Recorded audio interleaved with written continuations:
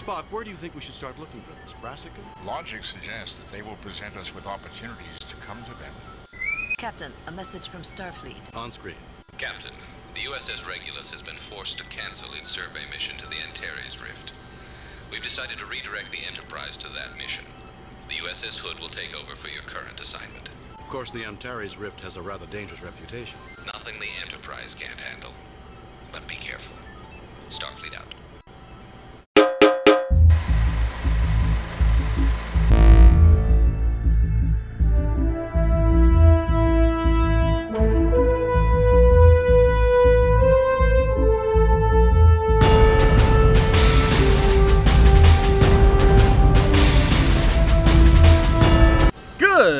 Morning, everybody. Ollamh here, and welcome back to Let's Play Star Trek Judgment Rites. Excuse me. Goodness gracious. Okay, so yes, uh, we are back at it again. We need to go to navigation. Uh, over here, the far right looks kind of like a red swirl. Bada boom. This guy.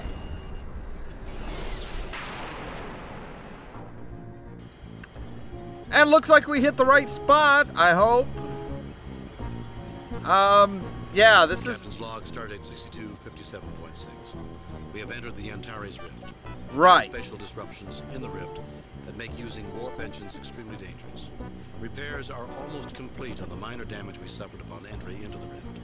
We are continuing our survey using impulse engines. My poor babies.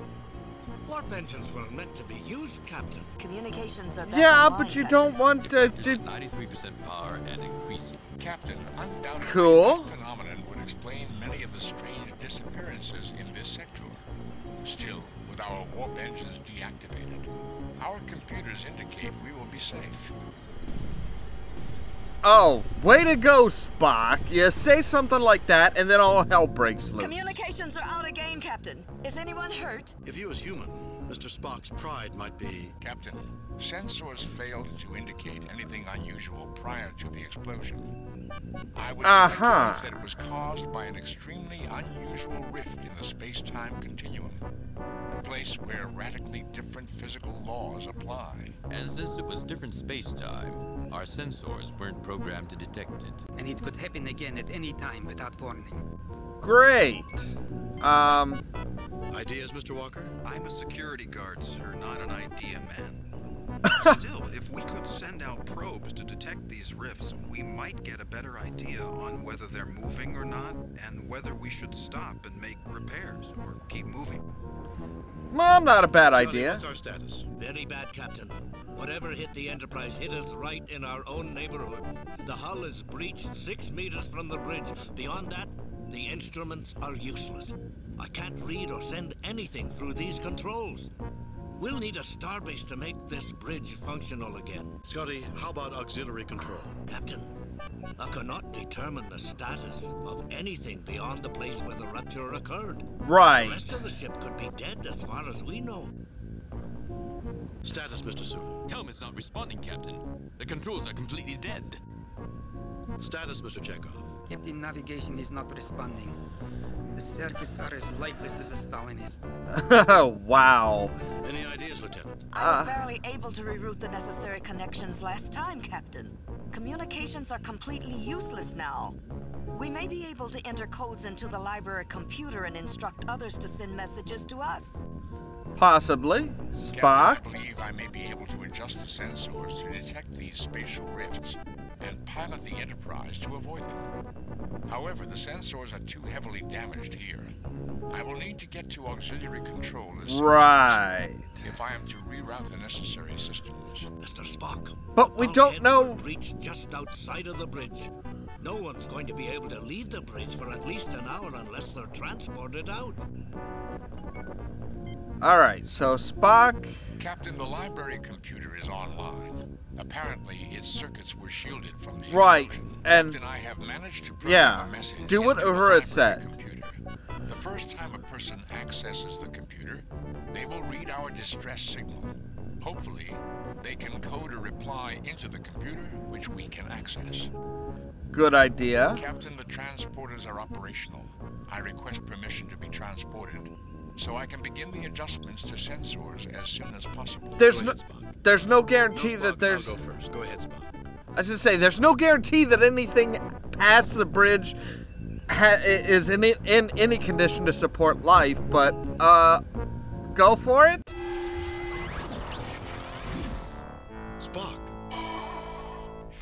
Uh, what?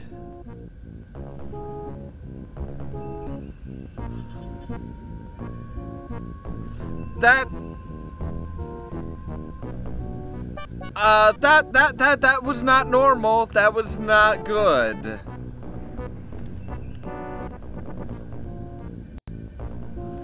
So okay, so I don't know if Spock like became that little or what. Um Sulu, can you figure out what the hell happened? I mean, you're not going to be doing any good anyway because Helm is dead. I'm patching your log into the computer. You should have voice messages. Captain, we've managed to jury rig an evacuation tube through the bridge turbo lift. We should be able to keep it stable long enough for you to be evacuated. Okay, cool. Everybody, into the turbo lift. Yeah, let's let's let's get off the bridge.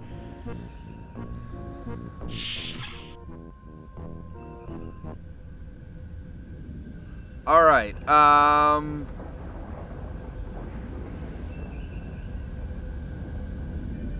Transporter room. No, we want to do auxiliary control. That's where Spock was headed. Captain's log. After equipping ourselves with tricorders and phasers, we are now searching for a way to find Spock and return him to us. I've determined that the best place to start is where he went. Um, that's like lightning. Those are like lightning bolts. I am. Captain, it's a very good thing we took the warp engines offline. How bad is it, Scotty? That explosion was 42% stronger than the one that struck near the bridge. Our lift warp nacelle is crippled, Captain. I hope it's not a trend. Keep me posted, Mr. Scott. Kirk out. Okay, so. All right, so we got hit by another round of, of, of, of lightning bolts. Yay! Um. Okay. Kirk to Scott. Come in, Scotty. Kirk to Uhura. Kirk to sick bay. Computer. Kirk to Scott. Captain, I got bad news for you. This rift is affecting the hull of the ship. Our hull integrity is dropping fast. How bad is it, Scotty? It's at 92% and dropping rapidly. According to our system specs, if it drops below 63%, Put as much powers as you can to the shields. Use them to support our hull integrity. Okay, um. Divert as much power as you can to the sensors. Let's find out what's causing this. Evacuate all people from the. Put as much power. Divert as much power You know what? as you can to the sensors. there's no guarantee. Let's let's see if we can find out. That's a risk I'm prepared to take. Kirk out. Okay, so um. What's Our in highest here? priority is control of the sensors. We must find Spock. I'll handle it, Captain. Remember, I was a physicist when I first joined the Enterprise. Ah, Captain, look! Hi, guy.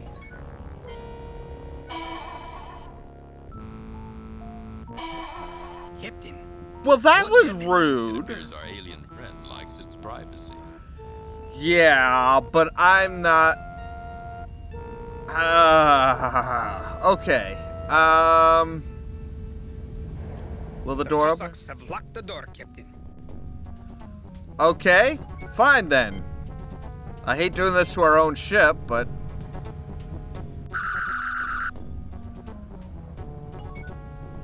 Uh, we've succeeded to Door put a to hole. Auxiliary control. The panel next to it indicates that it is locked. We we have succeeded in shooting a hole in the door. Oh, but you know what? Uh, I bet we can. Uh, can we can we scan through that hole? Captain, I'm getting a sensor reading on the alien. Cool. I'm sure Dr. McCoy will find this data very interesting. I'm sure.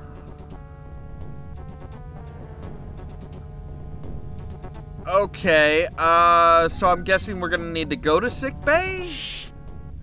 to actually give him uh, sick bay. Yes.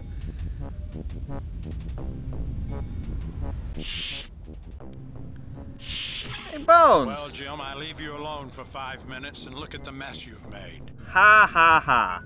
Uh, we have some information for you. No, I. Young human male in average physical condition. Average. Damn. That's not even cool. Uh, no, Bones. Jim, what is going on out there? Spock is gone, Bones. He was transporting off the bridge, and then he vanished, and then this alien appeared in auxiliary control. An alien kidnapped Spock? Why? You're assuming that's not Spock, though. Jim, this says our invaders are Vaurians. Vaurians? But they're extinct. They died out at the time that Cochrane invented the warp drive. They were slaughtered in the Three Systems War. Jim, I know my history, but I also know my anatomy. The alien in auxiliary control is a Vaurian. There's only one strange thing. What's that? This creature isn't capable of doing some of the things that you described. It's an ordinary Vaurian. No special organs, no unusual brain patterns, Nothing that traditionally suggests superhuman feats. Can you neutralize it? Right, but Actually, we're in it's this. a female. And yes, I know of something that can incapacitate it without harming it. A gas mixture.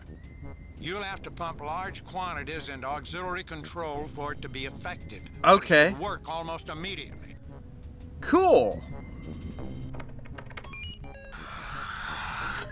Here's the gas, Jim. Be careful with it. There hasn't been a Vaurian in 150 years. Right.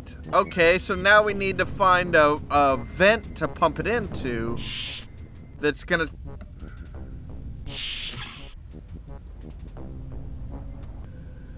Alright, let's take a look at auxiliary control and see if we can't find. I don't see any vents here. Okay.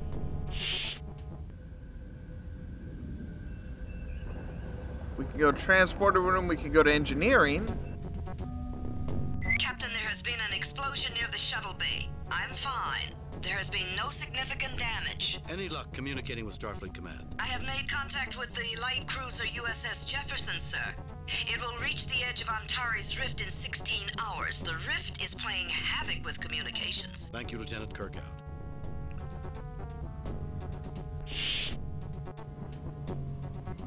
Right, life's. Oh, duh, because we should have a life support computer here.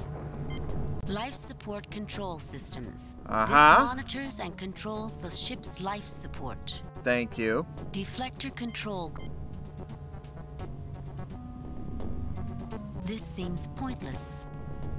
This leads into the Jefferies tube and is sealed due to a hull breach. Right, okay. Impulse engine fuel control systems. This system monitors fuel u- Thank you. Yes, I, I, I got that. Uh, so. Not in there, Captain. Put the gas in the life support pump, then use the controls. Right, where's the where's the pump? Captain, please. It's a very unpleasant smell, Captain. This seems pointless. Thanks. Impulse engine fuel. Deflector. Life support control. Life sup. Life. sup- Yeah, but Life. where's sup- Life. sup- Life. sup- This seems. This leads. This seems. This seems. This seems. Artificial gravity. This seems. This device stores special chemicals that are pumped into the ship's atmosphere when needed. Ah, okay. So we need to put this in here. And then use life control, life support controls. I wish Dr. McCoy had given me the specs on that gas injection system. It looks like a rather clumsy fit. I'll do it, Scotty. You'd think that Dr. McCoy would have some respect for engineering. Why? He he doesn't like he doesn't even like transporters. Come on. Let's see how our alien friend likes Dr. McCoy's medicine. Probably as much as we do, Hikaru. Mr. Kyle, can you transport me to auxiliary control? Aye, sir. But I have to remind you how dangerous intership transporting can be. We've really been pushing our luck today. I'm aware of that, Mr. Kyle, but we have to take the risk. And that's actually a point, is transporting from one point to another without transporter pads uses up a lot of energy. Something's happening. He's gone. Great. Right. Okay, so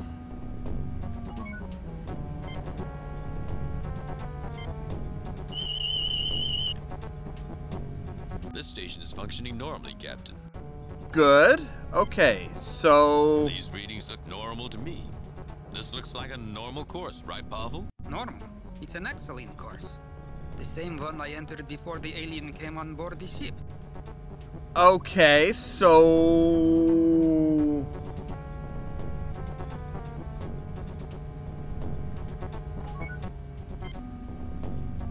Captain, the What's- diagram cannot be adjusted except by changing the use.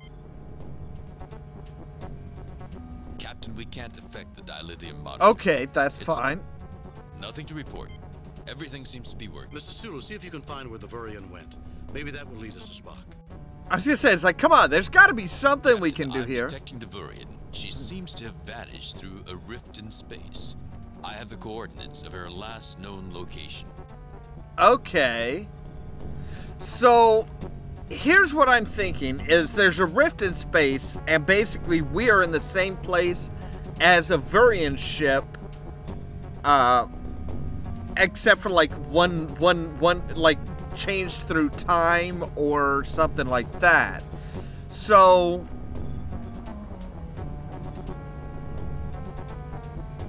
Um, okay, so we have we have her coordinates, and somehow when when Spock transported, they transported. Mr. Kyle, and the coordinates where the alien teleported? they Captain, they changed asking me places. to transport you into another dimension. Yeah. I may not be able to lock onto you there. I'm aware of the risk, Mr. Kyle. You have your orders. Aye, sir.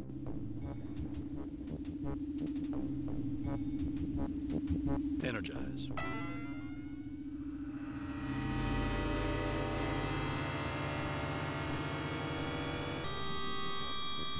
Captain's personal log. I have transported to many strange places in my day, but beaming into an alien dimension is something entirely unique. Yeah, Only dangerous. The extreme risk to my ship and my friend Spock would cause me to take such a drastic risk. This doesn't look like a nice place to visit. There's the Vaurian. I don't see Spock. He's got to be around here somewhere. Okay, let's save real quick. Save new game. Replace pre. Okay.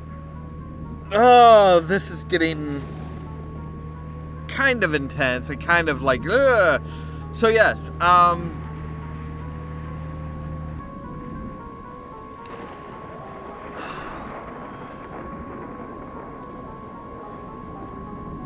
Uh, so they, there are, okay.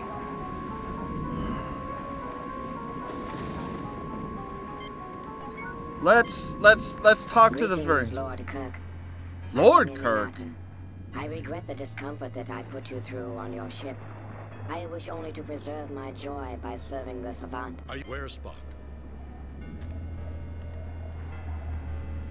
How did you come to be here?